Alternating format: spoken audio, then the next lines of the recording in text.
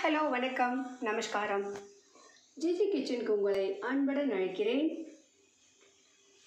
ஒரு கப் இந்த கப்பில் கோதுமை மாவு எடுத்து வச்சுருக்கேன்.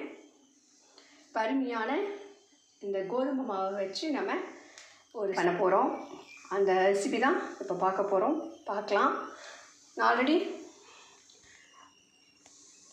மிளகாய்த்தூள் ஒரு ஸ்பூன் உப்பு தேவையான அளவு உப்பு பெருங்காயத்தூள் போட்டு வச்சுருக்கேன்.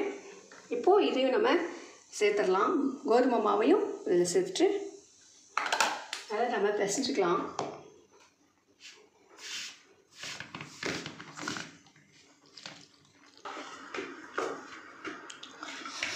பாருங்க மாவு நம்ம நல்லா பிசைஞ்சாச்சு. சப்பாத்தி பதத்துக்கே பிசைஞ்சாச்சு. உப்பு அஹ், மிளகாய்த்தூள் பெருங்காயத்தூள் இதெல்லாமே நம்மளுக்கு தேவையான அளவு. நீங்கள் எவ்வளோ காரம் வேணுமோ அவ்வளோ சேர்த்துக்குங்க. பெருங்காயம் நிறையா பிடிக்கவங்க நிறையா போட்டுக்குங்க. உப்பு தேவையான அளவு. இப்போ போட்டு நம்ம வந்து சப்பாத்தி மாதிரி இட்டுலாம்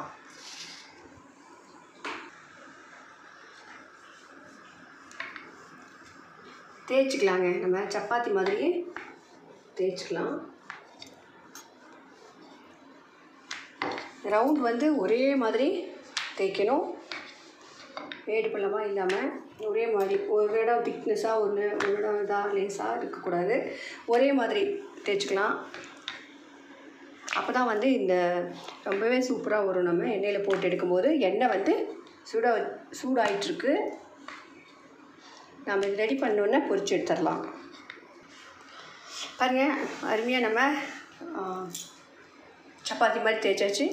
இப்போது இதை கட் பண்ணிக்கலாம்.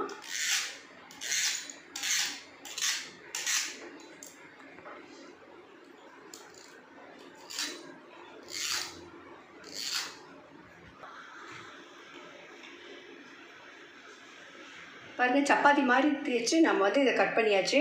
நம்ம கத்தியில் கூட கட் பண்ணிக்கலாம்.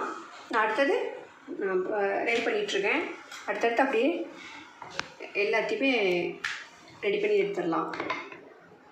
எடுத்துட்டு நம்ம எண்ணெயில் போட்டு பொரிச்சு எடுத்துக்கலாம். வீட்டில் இருக்கிற பொருள் வச்சு ரொம்ப ஈஸியான ஒரு ரெசிபி தான் இது.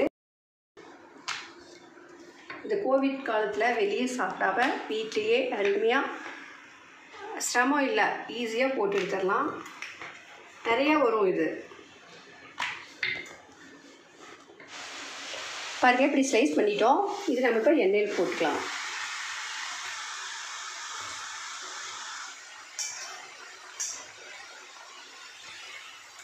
பாருங்க அருமையாக சூப்பராக வந்து ரெடி ஆகிடும்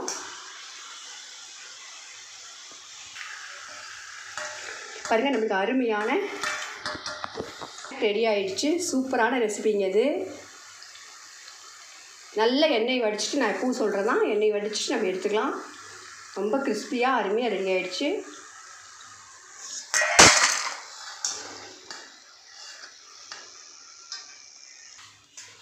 பாருங்கள் அடுத்தடுத்து நம்ம போட்டுக்கலாம்.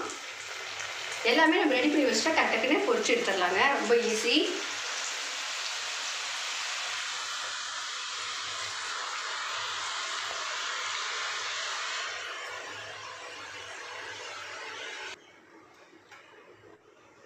அருமையாக கோதுமை மாவு வச்சு நம்ம ரொம்ப சிம்பிளாக நம்ம சூப்பரான கோதுமை மாவு வச்சு காரத்துக்குடா பண்ணிட்டோம். ரொம்பவே ஈஸியான ரெசிபி இது. நீங்களே பார்த்துருப்பீங்க. ரொம்ப ரொம்ப ஈஸி. நீங்களும் இதே மாதிரி ட்ரை பண்ணி பாருங்கள் ட்ரை பண்ணி பார்த்துட்டு எப்படி இருக்குது அப்படிங்கிறத கமெண்ட் பண்ணுங்கள் பிடிச்சிருந்தா லைக் பண்ணுங்கள் ஷேர் பண்ணுங்கள் இது வரைக்கும் ஜிஜே கிச்சனை சப்ஸ்கிரைப் பண்ணாதவங்க சப்ஸ்கிரைப் பண்ணிவிடுங்க மறக்காமல் பக்கத்தில் இருக்கிற பெல் ஐக்கானையும் கிளிக் பண்ணி வச்சுருங்க.